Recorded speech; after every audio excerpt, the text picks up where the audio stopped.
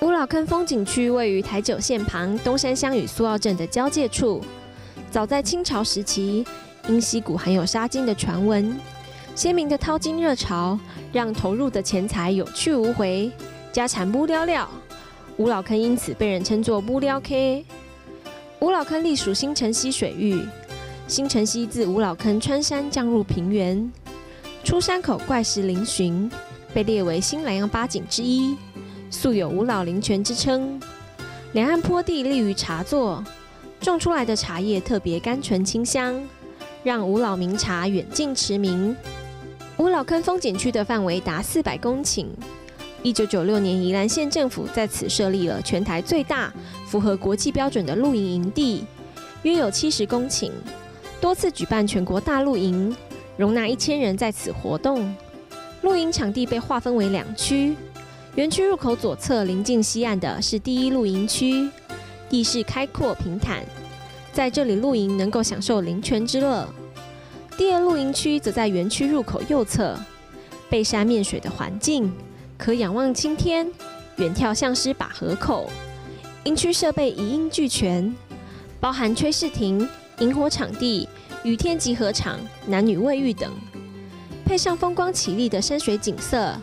让五老坑不仅能露营，还是野炊、戏水、登山赏景、户外教学等多元化游憩场所。戏水区水量充沛，水质澄净，浅滩处是夏日清凉的首选。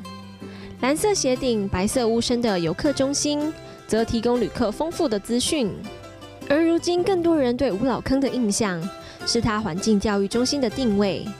宜兰每年春季的重要活动——绿色博览会。就选择在此举办，游客在绿意盎然中贴近自然，找回生活的纯粹。另外，配合县府的相关行囊方案，全县七年级的学生在升八年级暑假时，都要到五老坑参与环境探索低碳教育活动，进行露营、山训环境教育课程，探索星空，参与萤火晚会。透过五老坑资源丰富的户外环境。培养生态知识与爱护自然的态度，更创造青春记忆中的家乡印记。关于五老坑风景区，有句俗谚是这么说的：“木老坑大酒够，阿甘峡水杂不？”意思是指五老坑溪床上布满许多大石头，一碰到下雨，雨滴落在石头上的叮咚声听起来，就像节奏感十足的击鼓声。位于五老坑下游的阿坚城。也就是现今东兴国小所处的东城村，则因水质甘美、专出美女而得此美名。